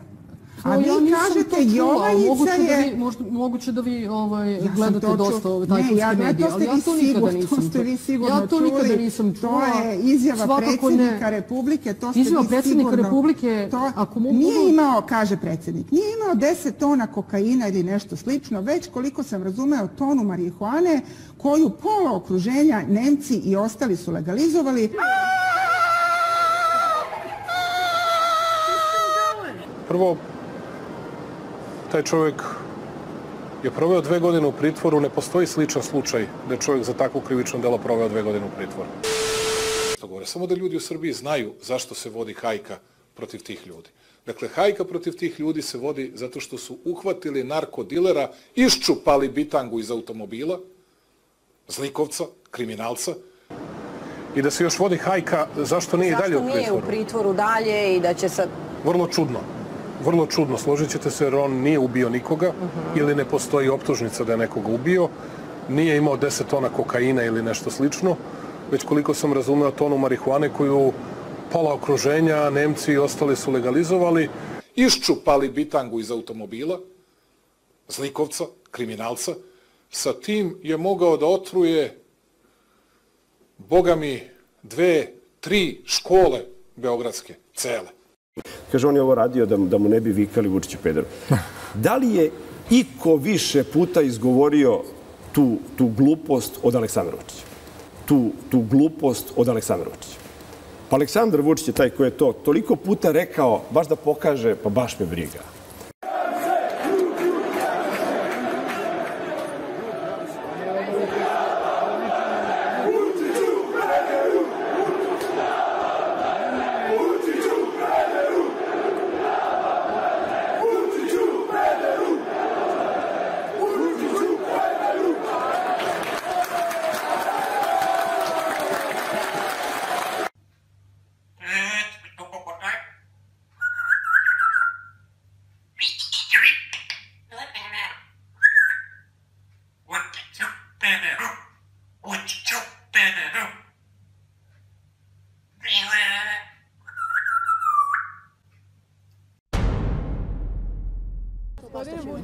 Li je po vama sporno, da li je po vama sporno to što je otac ministra policije počeo da trguje oružjem te kada je Nebojša Stefanović došao na čelo ministarstva, bez čije dozvole nema izvoza oružja?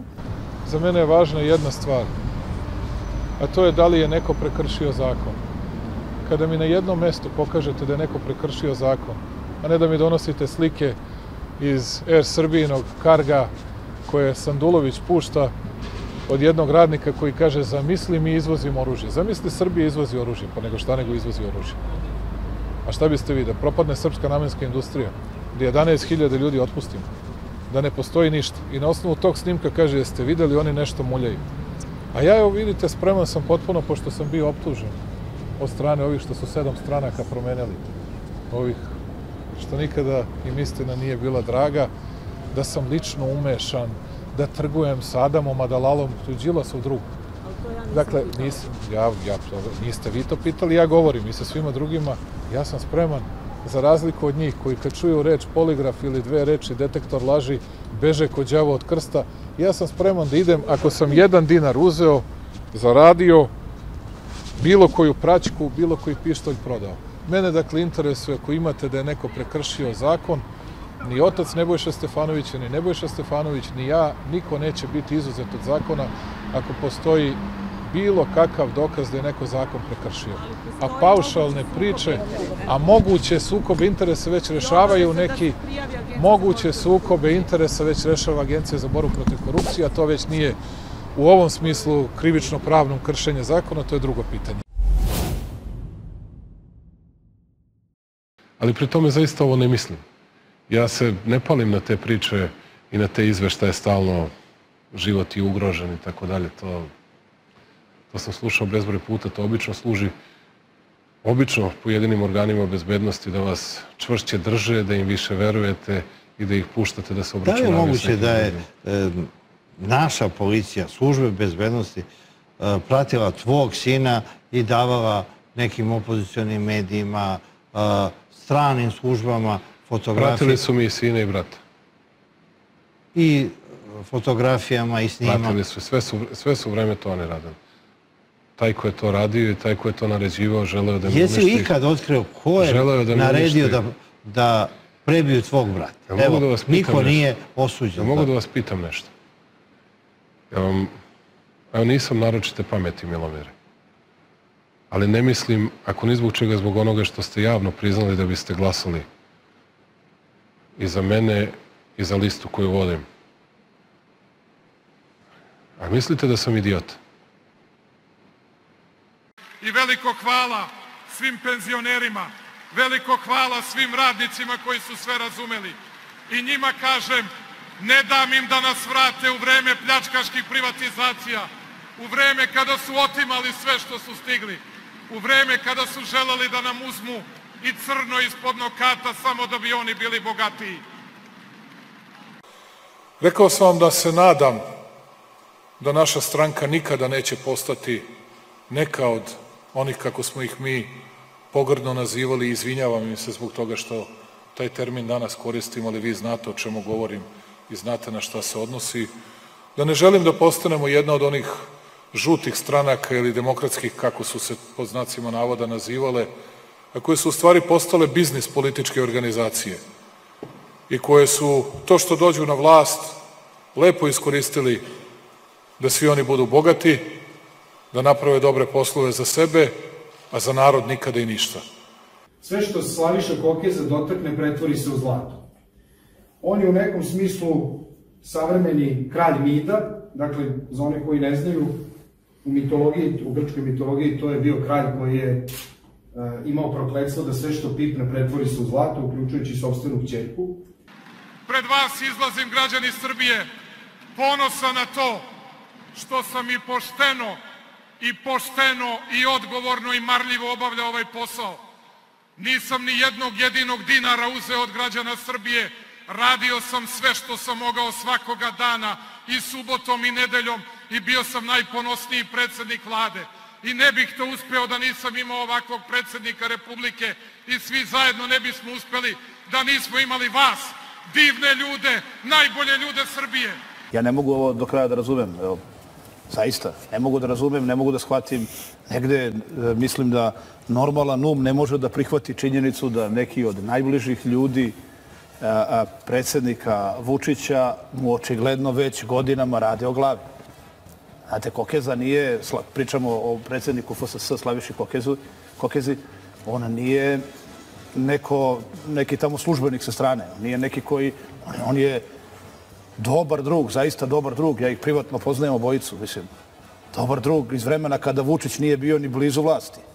Ovaj, ali znamo dobro, one čudne lobanje koje se spominjao kod ovaj, ove Olje Bečkoviće, recimo, na takve lobanje, koji su od semenkara postali milioneri. Da, da se priča da sprema atentat na predsjednika, da se priča da je opljačkao carinu za 640 miliona, državni mediji to spominju. I šta je rezultat cijele te priče? Podsjeti mi, Ljubo, molim te, šta je rezultat? Pa ništa, Nema ga. prijatelju. Evo uvek isto. Nema ga. Nema ga. I bolje, a recite mi, zar niste primetili kod nekih ljudi u vašem okruženju da žive iznad Jesam. prihoda koje, koje Jesam i na mogu da imaju? predsjedništvu stranke sam o tome govorio. Da, ali kakve su posledice za njih? Osim što ste ih ukorili. Osim što sam ih ukorio, neki već nisu na funkcijama. Neće ni biti. Šta je sa onima koji jesu? Oni koji jesu, neki će biti ranije, neki će biti nešto kasnije smenjeni, ali će svakako biti smenjeni. A naravno, bit će velikih promjena u SNS-u i na kongresu stranke. Vidjet ćemo kada ćemo moći da ga održimo, tako da je to drugo pitanje. Ali kad smo govorili o, o ekonomskoj stabilnosti, sad ću citirati ono što se pojavljuje u medijima. Kako je moguće da niste primetili da fali ili da nema 640 miliona u budžetu koje su... Ajte, nemojte 640 miliona, to je pretarano, mislim, to je... I nije 640 miliona, nego je to kroz 8 godina napisano 640 miliona, ali to je... Ja vam citiram ono što piše što dolazi do javnosti. Pa dobro, to što piše, piše, nemojte se ljutiti i na tarabi svašta, pa se niko ne zaleće na tarabu. A ja vam tri puta za redom ponavljam ko je krivi kada se to desilo. I šta vas briga za činjenice?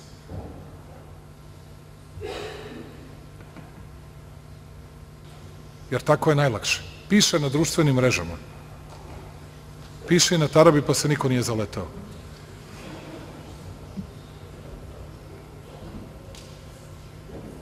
I bukvalno je sve na tom nivou, nažalost. Bukvalno je sve na tom nivou. Bukvalno je sve na tom nivou. Pa dobro, to što piše, piše, nemojte se ljutiti i na tarabi svašta, pa se niko ne zaleće na tarabu. Dakle, puste 640 miliona su velike pare, 640 miliona imaju neki drugi koji su se time pohvalili. 640 miliona su pretarani novci. A ja vas pitam, kažete mi, a ko to treba da bude? Ko to nije, a treba da se vodi postupak protiv njega? Imate dokaze da treba da se vodi postupak protiv njega? Da pojasnimo stvari. Kažite mi to. Za koje- za koje 600 spominjete- Ali samo da znate, tih 640 miliona i ti koji su pominjali, je to za 7-8 godina, ne, ne u godinu dana. To je kakvih 640 miliona, ogromna novost, to biste odmah videli. Ja vas pitam, izvinite, je Srbija toliko bogata da miliona evra baca na ovakav način? Uz ovako jasne stvari koje se dešavaju. Je li zbog toga Vučića treba da bude sramota ili one koji su se na ovakav način ponašali? Upravo ste spominjali te neke druge koje, za koje se takođe priča ili piše da imaju 600, nemaju 640, nešto manje od 640.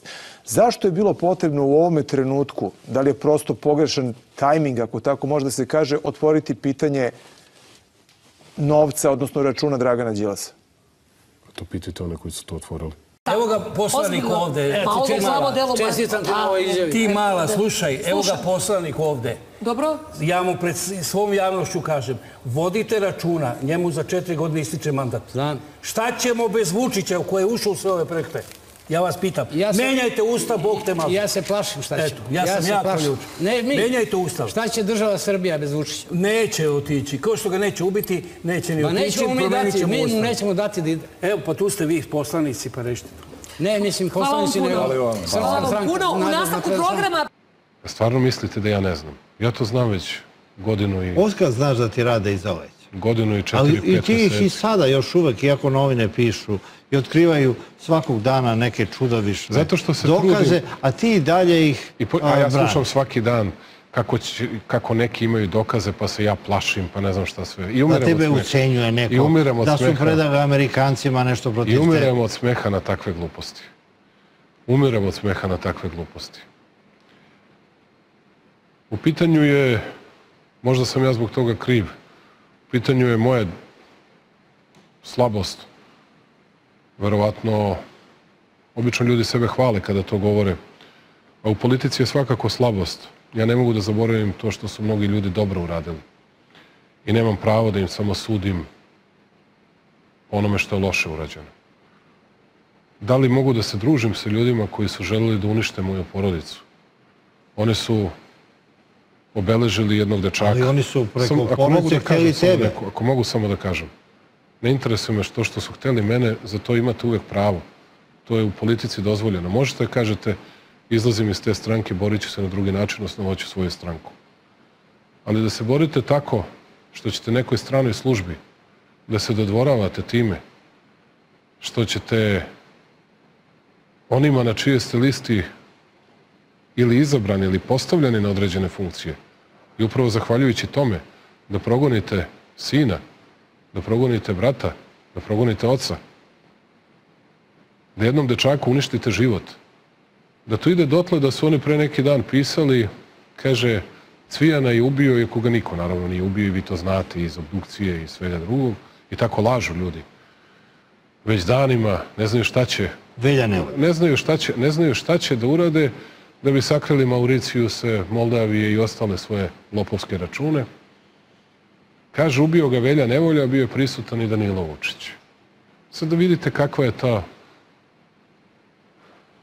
Šta, vi, šta taj dečak, šta to za mene dete, on ima danas 23 godine, a kako on treba da živi?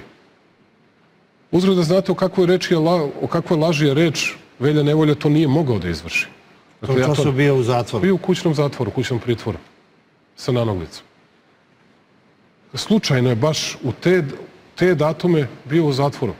I sad vi time rušite i borbu protiv organizovanih kriminalnih grupa, jer ako tako nešto lažete, onda znači možda država laže i za neka druga ubistva. I da nisu ocecali glave, da nisu Dakle, a da ne pričamo o tome šta ste sve vreme radili sa bljuvotinama i izmišljotinama od Gakova do Jovanjice. I na kraju, šta god ih pitate, ne ni da vam kažu ništa. O Franšu i o svemu drugom da ne pričam. Bukvalno specijalni rat vođen samo da Srbija ne bi bila dovoljno jaka i to su radile, naravno, jedna svakako, a vidjet ćemo da li i više stranih obaveštajnih službi, zajedno sa našim malim ljudima, ne mislim rastom, već mislim moralno malim ljudima koji su mislili da će time sebi da obezbede više moći, više novca. Šta se dešava u veću njihovoj glavi kad su pomislili da iza njih stoji Amerika, da stoji Britanija? Kad da, neko ko pomisli da iza njega stoji Amerika ili tako neka velika sila, njemu možete da govorite samo ti si mnogo ozbiljna budala. Kao što se iz moje izjave jasno vidi i čuje, ni u jednom trenutku nisam rekao da je FBI učestvovao u istrazi protiv Belivuka i njegove grupe. Istraga protiv kriminalne grupe Veljka Belevuka započela u vreme kada sam obavljao dužnost ministra unutrašnjih poslova i očigledno je ključni segment te istrage upravo trenutak kada je FBI razbio tu enkripciju, povezao sve one koji su koristili Sky aplikaciju i stao na put onima koji zlupotrebljavaju takvu vrstu tehnologije. Informacije koje je FBI podelio sa evropskim i našim službama značajno su pomogle da se prikupe dokazi i podigne optužnica protiv ove kriminalne grupe, na čemu posebno želim da čestitem i našim istražnim organima i svim onima koji su pomogli da ova mafijaška organizacija završi za rešetak.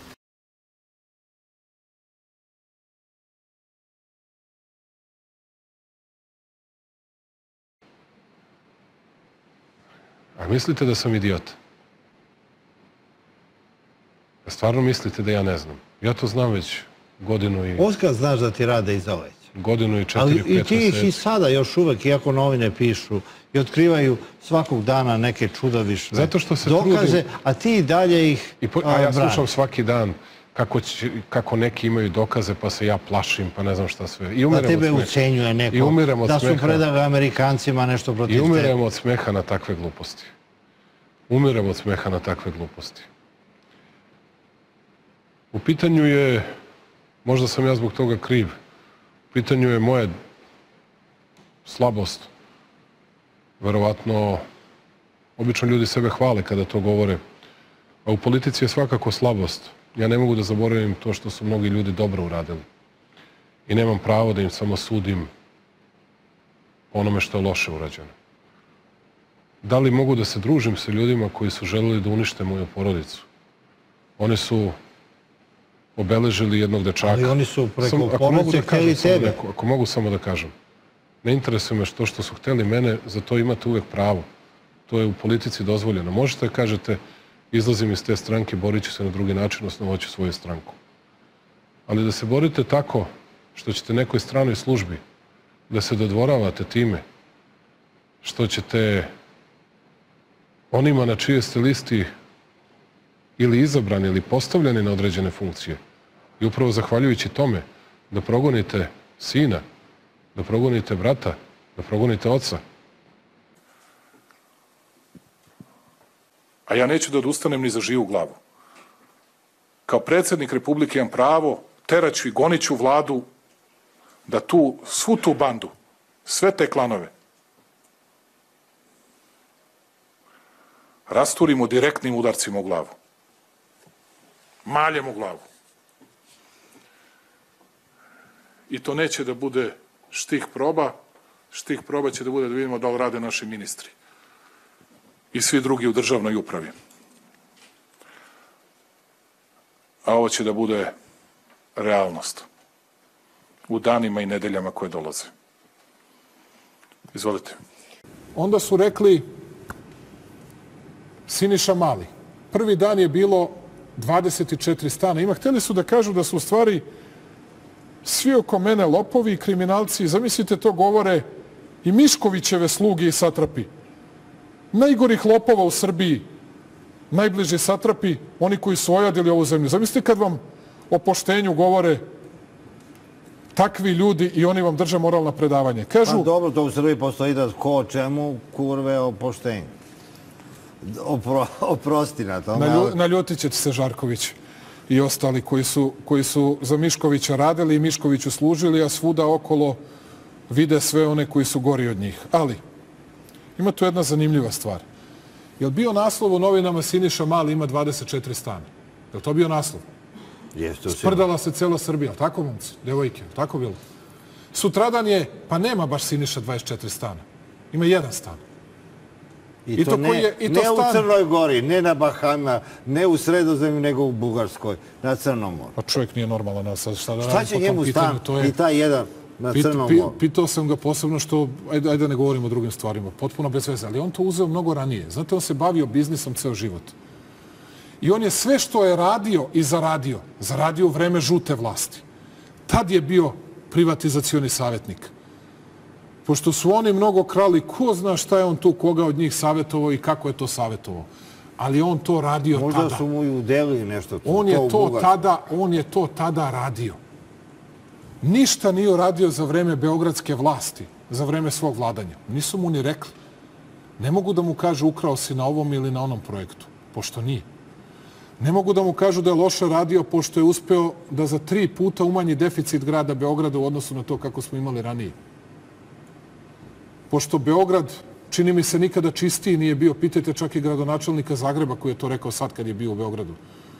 Pogledajte kako se gradi i koliko se više gradi od, neću da govorim, dakle, od Ike do vrtića, to mo- mostove više i ne primećujemo, nisu nam ni važni. Izgradit ćemo sad još jedan most sledeće godine veliki na Savi. Dakle, to je taj Surčino Brenovac koji ćemo da pravimo. To više nisu ni važni ni veliki projekti. O tome smo sanjali nekada decenijama. O Beogradu na vodi da ne pričam i o svemu drugom. Ostavimo to sve. Ostala je optužba da je radio za offshore kompanije. Ne, on je njima pomagao da naprave takve poreske šeme, jer to je savjetnik koji je po njihovom zadatku bio dužan da to uradi. Nema krivice nikakve, ali da vidimo ima za nešto za što može da bude. Da li je on bio u sukobu interesa 2015. godine ili ne, da li je i dalje bio direktor toga i toga. Dakle, najteže delo koje može da mu se stavi i koje je nemoralno, koje nije krivično delo nikakvo, Da, još to je da li je, to je da li je, u, tako je, da li je u sukobu interesa ili ne. I ja vam kažem, dokaže li se da jeste, neće biti gradonačelnik. Izvinite, što ste lagali narod ima 24 stana? Što ste mu stavljali metu na čelo da svi ljudi misle kako je prebogat i kako toliko toga ima da može da baca? A niste to pisali za one koji imaju svoje pašnjake i koji imaju svoje zgrade po Beogradu? Niste to pisali za one koji imaju svoje, rekao bih, blokove zgrada u Novom Sadu? A ovaj je kum, kaže. A Šutanovac nije Tadićev kum. A Pajtićev kum nije Pavličić i Elezović, najpoznatiji pošteni ljudi u Novom Sadu. A to nisu kumovi. A ovima kojima nemaju šta da da kažu, ovima kojima nemaju šta da kažu, onda vode takve vrste kampanje i nikad ništa ne urade. Ali je važno da ubrljate, da umeljate sve u blato, da napravite sve najgorim mogućim, pa ako prođe, prođe. Neko će da posumnja, neko će da kaže joj što su grozni ti i ti, nije to baš sve tako. Koliko sam ti puta, Babiću, rekao, šta bre ideš ti u, otmena letovališta na Hvaru, Brionima i tako da. Šta bre radiš tamo, čoveče? Idi u Hrvatsku, ne smeta mi, ma nemoj bre da ideš u skupoce na letovališta. Šta radiš na Brionima? Ima drug kuću. Neki ima, idi kod druga u Sopot. Nađi druga u Sopotu, a ne na Brionima. Jer naš narod nema drugove na Brionima. A ti se ljuti koliko hoćeš na mene. A kad te nepravedno napadaju, Babiću, kad su te napadali lažima kako si ti vozio onaj automobil, a ko je bio, Babiću, tu da te brani? Jedino ja. Bilo je još nekoliko ljudi. A svi ostali su čutili, još mnogi su mislili da si ti stvarno vozio Babiću. Nije Babić vozio, da znate. Imamo snimke, nije on vozio. Lagali su kao i obično. Ali sam ga branio. A neću da te branim, Babiću, za hvari za Brione. Neću da te branim. Neću da te branim nikad za hvari Brione. Kad naš narod bude mogao to sebi da plaća, e onda idi ti. I nije problem da je to jedno, pa kaži, otišao sam jedan put, šef. U redu je, svako od nas voli da se provede, sve u redu. Ama bre, nemoj svake godine po tri puta. Nije tri put, nego dva put, izvini, Babić, opet sam pretarao. Veoma mi se sviđa da kažem istinu narodu. Nisam vas... Znači, Siniša Mali je kao direktor dve offshore firme kupio apartmane u Bugarskoj. Ali da, to smo u U, papirima u, dokazali. tu, u tuđe ime i za tuđ račun. Tačno. E, Pretpostavljam da vi znate za koga je za koga investirao taj novac, jer u tom trenutku i bio vaš savjetnik. To je bio falsifikovan potpis. O, ok, onda da idemo do, um, do Zlatibora Lončara. Kao što ti mene sad interesuje, kako, da, kako se desilo to da opet imenujete uh, za ministra zdravlja osobu koja je već tada, i što je bilo poznato u javnosti, bilo, bila optužena uh, da je čak učestvovala u nekim ubistvima. Proveravao sam i sem priča na koje sam čuo, nisam naišao na dokaze koje bi bilo šta govorili protiv njega. A, da li možete da objasnite kako je, kako je došlo do toga da kupite stan od Jelene Kalinić? To jest, da li ste stan kupili ili dobili i zašto baš od Jelene Kalinić? I šta je sporno? Ja sam lično odnio sve ugovore policiji. Da li ste vi njega pitali, da li mu mama objasnio tu koincidenciju da je kupio stan od njih? Bukvalno deset dana nakon Pitao sam tog smrti, da, Pitao što je rekao? Ne bih govorio o našim privatnim razgovorima. Imajući u vidu da ste rekli da, ste, da je u pitanju pozajmica i da ste to pozajmili, a da je reč o priličnom iznosu novca, jel možete da nam kažete koliko ste, na primjer, uspeli do sada da vratite? Ja želim da vas obavestim da je nesumnjivo iza onoga što se dogodilo u Sava Mali, što je vrlo neprijatno, ali je urađeno nešto veoma loše, urađeno je nešto što ne sme da se ponovi i iza toga stoje najviši organi gradske vlasti u Beogradu i oni će snositi i krivično pravnu i prekršajnu i svaku drugu vrstu odgovornosti. Ovo da je 6940 građana većinom uplatili identičan iznos od A prva, 40.000 dinara. da, zato što vam to rade ljudi po opštinskim odborima. Pitanje je kako je Samo- moguće samo nekoliko hiljada građana Pa uplati zato što 40.000 imamo ljude, dinara. pa zato što kažemo ljudima, a sad ću da vam objasnim kako. Sedimo nas dvoje i bude tu i neki treći čovjek. Ja ne znam da li je to tako, ali pretpostavljam. Ali je vaš otac imao povlašćeni položaj kada je dogovarao prodaju oružja sa Ja Krušikom vam kažem 2017. da je to potpuno, ne, dakle, da to je potpuno izmišljotina koju je demantovao... Dokument, je li taj je- dokument To izmišljotina? je potpuno izmišljotina. Neke vaše ministre uh, je istraživačka mreža KRIK prozvala za njihov stan, navodeći da ne mogu da dokažu preče gospodinu Vulinu, da ne može da dokaže poreklo svog stana vrednog 200.000 evra. E, Da li vi verujete u sve ono što smo mogli pročitati ovih dana u medijima da je u pitanju e, tetka iz Kanade od njegove supruge koja je, a on je 9, po 9.000 donosio u Srbiju. E, I on ta priča zvuči realno. A kad je Vulin dobio taj stan? Važan je detalj. To je moje pitanje za vas, pošto ste to bolje pratili nego ja. Ja sam to bio u Njujorku, nisam imao vremena. Pa da mi odgovorite, kad je Vulin dobio taj stan? Kada je bio direktor e, vladine kancelarije za Kosovo i Metohiju. Nije istina. Nego? Vulin je to dobio pre nego što je na bilo koji način ušao u vladu. U junu mesecu 2012. godine. Da li je bio direktor kancelarije? Nije bio ništa. Dobro. Nije bio ništa. Vlada je formirana početkom avgusta 2012. Ali svejedno, da li je kao državni funkcioner u obavezi Samo vas molim te, kako je su... da kako objasni Ma poreklo Sačekajte kako je to sve jedno. Kako je to sve jedno? Dakle, mi smo ovim ustanovili da Vulin kao predstavnik vlasti nije ukrao ništa. Dobro. Je li to tačno? Je li to tačno? Ako su ove činjenice koje sam ja iznao precizne. Ako su precizne činjenice. Ako su te činjenice precizne, Dobro. dakle, lako ćete proveriti. Dakle, dakle, on nije ukrao ništa u vreme dok je bio na A vlasti. zašto je onda Agencija za borbu protiv Postavlja se korupcije pitanje, postavlja se pitanje a zato što je on u to Prosledila- vreme... Zato što je prosledila verovatno bio poslanik. tužilaštvu- Ili, zato što je verovatno bio poslanik ili nešto. To, to mi je s tetkama, znate, kad sam slušao Đelićeve tetke, a on je doduše multimilioner, ali i sve drugo uvek mi je to nešto teško, ali ja predlažem sledeću stvar. Da sve te agencije i svi ti zajedno povedu još jedan put istragu, baš oko Vulinovog stana. Ali je važno za ljude da znaju da ništa nije ukrao i da se to nije dogodilo i da to nije njegovo od kada je na vlasti. To je veoma važan detalj. Za razliku od svih ovih drugih koji su se obogatili na narodnoj grbači kad su na vlasti. Da li mu je to dala sestra, tetka, strina ili uzeo od bilo koga od, iz neke tadašnje vlasti, to je onda neko drugi kriv. I možete govoriti o tome da li je petljao, da li je ovako ili onako, ali nije ukrao. Jeste li nekad videli skupoceni persis, persijski tepih izatkan od zlata, ali samo ima jednu rupu?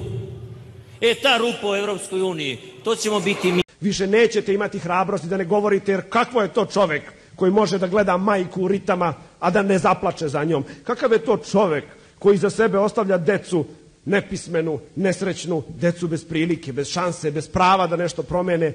Kakva je to Srbija u kojoj se ništa neće promeniti? Zamislite Srbiju u kojoj će ovi večno da vladaju. Zamislite Srbiju u kojoj se ništa neće menjati. Zamislite Srbiju u kojoj će zauvek ostati ovakvo. Zamislite Srbiju u kojoj će stalno biti sve više gladnih i ono šaka bogatih. Zamislite da živite do kraja svog života u Srbiji u kojoj će večno da vas tlače i vi ćete večno da ćutite.